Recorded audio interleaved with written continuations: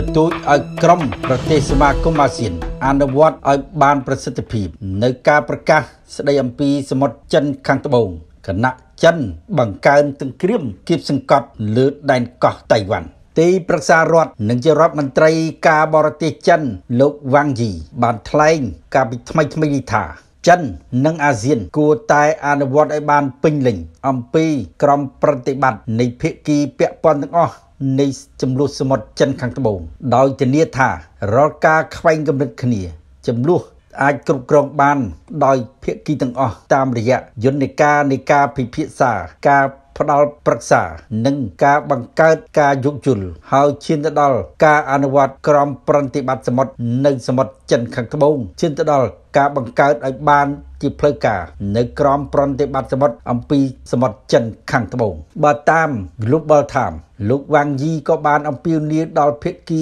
ទាំងពីរគឺអាស៊ាននិងចិន ជួយការពារសន្តិភាព ស្ថិរភាពយូរអង្វែងនៅសមុទ្រចិនខាងត្បូងដោយអនុវត្តនៅយន្តការពហុទ្វេភាគីហើយបើកចំហនៅតំបន់ភាវូពាណិជ្ជកម្មរួមគ្នា ដែលត្រូវដោះស្រាយបញ្ហាគំនិតរួមគ្នានៅក្នុងតំបន់នេះសេចក្តីថ្លែងការណ៍របស់លោកវ៉ាងយីធ្វើឡើង នៅពេលដែលលោកធ្វើការកត់សម្គាល់នៃការប្រពខួប30ឆ្នាំនៃការបង្កើតទំនាក់ទំនងពិភាក្សា រវាងចិននិងសមាគមអាស៊ាននេះបញ្យោងតាមការចុះផ្សាយនៃសេចក្តីថ្លែងការណ៍របស់ក្រសួងការបរទេសចិនត្រូវបានផ្សព្វផ្សាយនៅលើគេហទំព័រក្រសួងការបរទេសចិន ការកត់សម្គាល់ដូចនេះនៃខួប30ឆ្នាំនៃការបង្កើតកិច្ចពិភាក្សាដៃគូរវាងចិននិងអាស៊ាន គឺភាគីទាំងពីរគួរតែដោះស្រាយនៅចំនួនរបស់ខ្លួនសមុទ្រចិនត្បូងដោយការយោគយល់ហើយថាតាមរយៈបទពិសោធន៍កន្លងមកដែលមាន30ឆ្នាំមកនេះ ហើយស្ថាបនាឲ្យបាន នៅសហគមន៍មួយនៅក្នុងតំបន់នេះដោយបែងចែកផលប្រយោជន៍សម្រាប់អនាគតរបស់ខ្លួន នេះជាការលើកឡើងរបស់ប្រមុខការទូតចិនជាថ្មីម្ដងទៀតនេះប៉ុន្តែអ្នកជំនាញនៅក្នុងតំបន់មើលឃើញថាសន្តិភាពនិងស្ថិរភាពនៅក្នុងតំបន់ក៏អាស្រ័យទៅលើ ប្រទេសនៅក្នុងតំបន់ខ្លួនឯងផ្ទាល់ដែលត្រូវយោគយល់គ្នានិងការសម្របសម្រួលជាមួយនឹងប្រទេសចិនហើយថាការដែលបណ្ដោយឲ្យប្រទេសនៅខាងក្រៅចូលពាក់ព័ន្ធ ដូចជាសហរដ្ឋអាមេរិកអង់គ្លេសជាដើមនេះគឺមិនត្រូវឲ្យមាននៅក្នុងចំនួនសមុទ្រចិនខាងត្បូងនោះទេ ហើយការបញ្ជូននាវាចម្បាំងរបស់ប្រទេសខាងក្រៅតំបន់មកកាន់សមុទ្រចិនខាងត្បូងពិតណាស់វាជាការបង្ហាញកម្លាំងសាច់ដុំរបស់លោកខាងក្រៅចូលពាក់ព័ន្ធនៅក្នុងតំបន់នេះដែលនេះហើយទំនងធ្វើឲ្យចិន ពេលខ្លះលួងលោមសមាគមអាស៊ាន ហើយពេលខ្លះក៏ប្រថុយបំពៀបំពៀនដែនទឹករបស់សមាគមអាស៊ានផងដែរចាប់តាំងពីការបង្កើត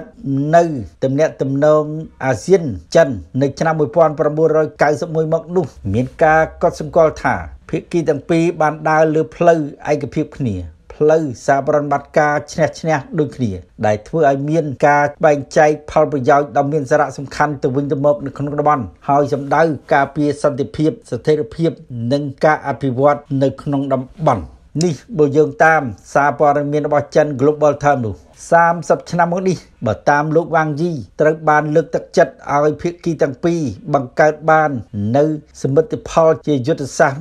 របស់ខ្លួនច្រើនគួរឲ្យកត់សម្គាល់ទៅហើយគឺធ្វើឲ្យប្រទេសក្នុងតំបន់អាស៊ាន មានការរីកចម្រើន ប្រកបដោយស្ថិរភាពចីរភាពនិងសន្តិភាព ហើយធ្វើឲ្យតំបន់ក៏មានសន្តិភាពផងដែរ ចាប់តាំងពីការផ្ទុះ COVID-19 មកនោះចិន បានផ្ដល់ឲ្យនៅប្រទេសអាស៊ាននេះ នៅវ៉ាក់សាំងបង្ការជំងឺរាតត្បាតនេះគឺប្រមាណជា300លានដុសទៅហើយលោកវ៉ាងយីបានសង្កត់ទៀតថាភាគីទាំងពីរគួរតែលើកដំកើងនៅតម្លៃរបស់ខ្លួនឲ្យបានខ្ពស់ដោយផ្អែកទៅលើការទំនាក់ទំនងជាយុទ្ធសាស្ត្រនិងផ្អែកទៅលើការពិតនៃភូមិសាស្ត្រវប្បធម៌នៅក្នុងតំបន់ ដែលធ្វើយ៉ាងណាឲ្យអាស៊ាននិងចិនកាន់តែរីកចម្រើនខ្លាំងទៅមុខថែមទៀតដើម្បីការពារស្ថិរភាពក្នុងតំបន់លោកវ៉ាងយីក៏បានអំពាវនាវផងដែរឲ្យមានសារប្រតិបត្តិការជាក់ស្ដែងគឺមិនត្រូវនិយាយតែមាត់នោះទេគឺធ្វើយ៉ាងណាឲ្យសេដ្ឋកិច្ចឲ្យការអភិវឌ្ឍតំបន់មានស្ថិរភាពរឹងមាំថែមទៀតប៉ុន្តែលោកសង្កត់ធ្ងន់អំពីសន្តិសុខតំបន់តែប៉ុណ្ណោះ តែបែបនេះក្តី នៅពេលដែលលោកវ៉ាងយីសង្កត់នៃទៅរកសន្តិភាពនៅសមុទ្រចិនខាងត្បូងមានការកត់សម្គាល់ថាប្រមុខការទូតចិនរូបនេះក៏មិនបាននិយាយយោងទៅដល់ភាពតានតឹង ដែលចិនត្រូវបានមើលឃើញថាជាអ្នកបង្កឡើងឲ្យមានភាពតានតឹង នៅច្រកសមុទ្រតៃវ៉ាន់គឺការដាក់គំនាបផ្នែកកងទ័ពទៅលើតៃវ៉ាន់កាន់តែខ្លាំងឡើងខ្លាំងឡើងទៅលើដែនកោះមួយនេះកាលពីពីសប្តាហ៍មកនេះ ចិនបានបញ្ជូនយន្តហោះចម្បាំង150គ្រឿងជាងនោះចូលទៅដែនកោះតៃវ៉ាន់ចូលទៅតំបន់កំណត់អត្តសញ្ញាណរបស់ដែនកោះនេះដែលធ្វើឲ្យច្រកសមុទ្រតៃវ៉ាន់ធ្លាក់ក្នុងហានិភ័យជាខ្លាំងដែលមើលទៅចិនត្រៀមពិតប្រកបណាស់នៃការបង្កសង្គ្រាមវាយលុកកាន់កាប់ដែនកោះនេះក្រោយពីបែកបាក់គ្នាដោយសារសង្គ្រាមស៊ីវិលឆ្នាំ1949 ការដែលលោកវ៉ាងយីបង្ហាញចំហសម្របសម្រួលជាមួយសមាគមអាស៊ានបែរជាបង្កើនកម្លាំងគៀបសង្កត់កោះតៃវ៉ាន់ក៏មិនប្រកាសថាសន្តិសុខតំបន់សមុទ្រចិនខាងត្បូងមានស្ថិរភាពនោះអ្នកជំនាញផ្នែកកិច្ចការភូមិសាស្ត្រនយោបាយជាច្រើនមើលឃើញថា នៅពេលដែលកោះតៃវ៉ាន់កំពុងតែត្រូវទាញឲ្យធ្លាក់ក្នុងសង្គ្រាមជាមួយនឹងប្រទេសចិនទោះបីពុំដឹងថាផ្ទុះឡើងនៅពេលណាក៏ដោយនោះក៏គ្មានទេ សមុទ្រចិនខាងត្បូងមានសន្តិភាពស្ថិរភាពនោះពេលនេះឃើញហើយថាសហរដ្ឋអាមេរិកអង់គ្លេសនិងសម្ព័ន្ធមិត្តរបស់អាមេរិកកំពុងតែបង្កើនសកម្មភាពយោធារបស់ខ្លួន នៅសមុទ្រចិនខាងត្បូងដែលគៀកនឹងកោះតៃវ៉ាន់គឺជាសញ្ញាមួយ បញ្ជាក់ថាសមុទ្រចិនខាងត្បូងគ្មានទេសន្តិភាព គឺប្រទេសខាងក្រៅដោយដែលលោកវ៉ាងយីបានបញ្ជាក់ថាមានអង់គ្លេសនិងអាមេរិកកំពុងចូលពាក់ព័ន្ធនោះគឺកំពុងតែចូលពាក់ព័ន្ធស៊ីជម្រៅហើយ នៅលើសន្តិសុខសមុទ្រចិនខាងត្បូង សហរដ្ឋអាមេរិកមិនត្រឹមតែជាសម្ព័ន្ធមិត្តរបស់កោះតៃវ៉ាន់ដែលប្រឆាំងនឹងការគម្រាមកំហែងរបស់ចិននោះទេសហរដ្ឋអាមេរិកខ្លួនគេផ្ទាល់ក៏បានចូលពាក់ព័ន្ធនឹងសមុទ្រចិនខាងត្បូងផងដែរជាមួយនឹងការបញ្ជូននាវាចម្បាំងរបស់ខ្លួនជាច្រើនគ្រឿងដាក់ពង្រាយរួចស្រេចនៅទីនោះហើយមកការពារផលប្រយោជន៍របស់សមាគមអាស៊ាន ដែលមានជាអាចដូចជាវៀតណាមហ្វីលីពីនម៉ាឡេស៊ី ជាដើមឥឡូវនេះឃើញថានាវាផ្ទុកយន្តហោះរបស់អាមេរិក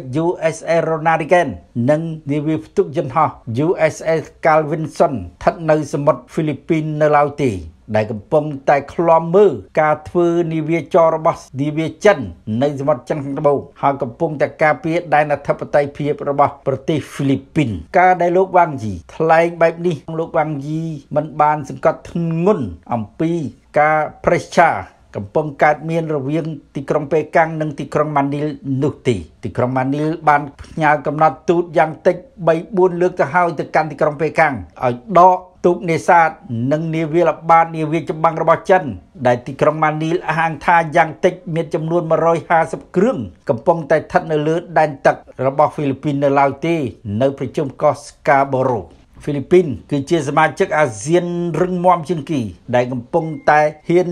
ងើបឡើងតតាំងជាមួយនឹង ការដែលចិនត្រូវបានចោទថាចូលបំពេញដែនទឹករបស់ខ្លួន នៅសមុទ្រចិនខាងត្បូងបន្ថែមលើនេះគឺវៀតណាមក៏កំពុងងើបឡើងតស៊ូប្រឆាំងនឹងវត្តមានរបស់នាវាចម្បាំង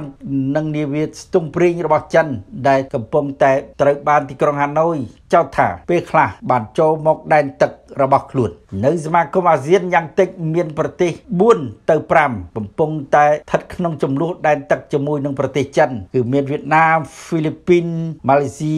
និងប្រ៊ុយណេហើយឥឡូវនេះឥណ្ឌូនេស៊ីក៏កំពុងតែត្រូវបានមើលឃើញខ្លួនឯងថាឥណ្ឌូនេស៊ីអនាគតច្បាស់ណាស់នឹងមានចំនួនជាមួយចិននៅសមុទ្រចិនខាងត្បូងដូចនឹងប្រទេស4ទៀតព្រោះចិនតែងតែអាងថាដែនទឹករបស់ចិនកំពុងតែត្រួតស៊ីគ្នាជាមួយនឹងឥណ្ឌូនេស៊ីទោះបីជាឥណ្ឌូនេស៊ីបដិសេធក៏ដោយនោះបើដូចនេះគេពុំឃើញមានសេចក្តីថ្លែងការណ៍របស់សមាគមអាស៊ានជាពិសេសប្រទេស5នេះគ្រប់គ្រងសេចក្តីថ្លែងការណ៍របស់លោកវ៉ាងជីប្រមុខការបរទេសចិនដែលស្នើឲ្យអាស៊ានអនុវត្តឲ្យមានប្រសិទ្ធភាពនៅការប្រកាសអំពីក្រមប្រតិបត្តិនៃភាគីពាក់ព័ន្ធទាំងអស់អំពីចំនួនសមុទ្រចិនខាងត្បូងនោះហើយក៏មិនទាន់ឃើញប្រទេសអាស៊ានណាមួយគ្រប់គ្រងគំនិតពុដូចផ្ដើមសុំឲ្យមានសន្តិភាពជាសកលនៅសមុទ្រចិនខាងត្បូងនោះទេ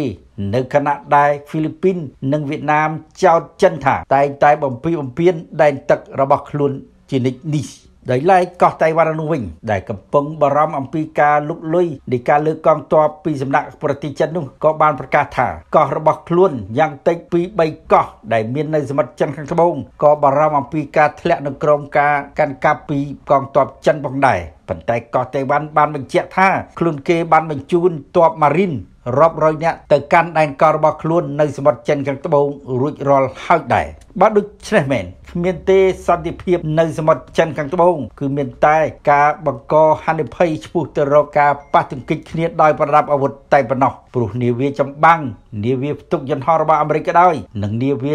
នេសាទចិននាវាល្បាតនាវាចម្បាំងរហូតដល់នាវាផ្ទុកយន្តហោះចិនក៏ស្ថិតនៅលើផ្ទៃសមុទ្រចិនខាងត្បូងនេះផងដែរ